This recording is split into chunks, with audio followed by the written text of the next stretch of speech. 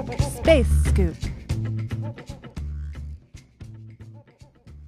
For a long time, people believed that the Earth was flat and that if you sailed too far, you'd fall over the edge.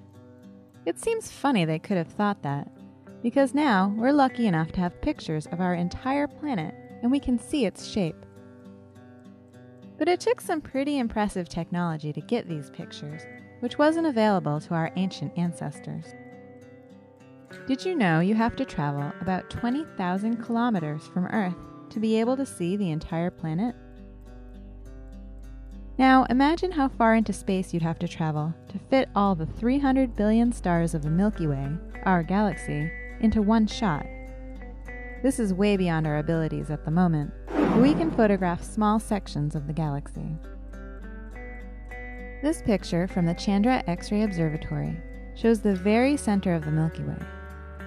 This is the most chaotic and dangerous part of the galaxy and home to a supermassive black hole.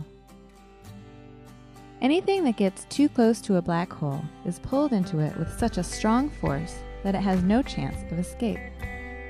The boundary that marks the point of no return is called the event horizon. Past this, not even light will return. This monster will pull it in forever. The blue haze in this picture includes piping hot gas floating perilously close to the event horizon of our galaxy's supermassive black hole.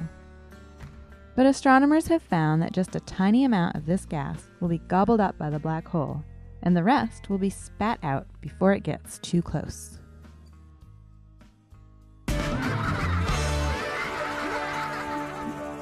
Space Scoop is brought to you by NASA's Chandra X ray Observatory and Universe Awareness.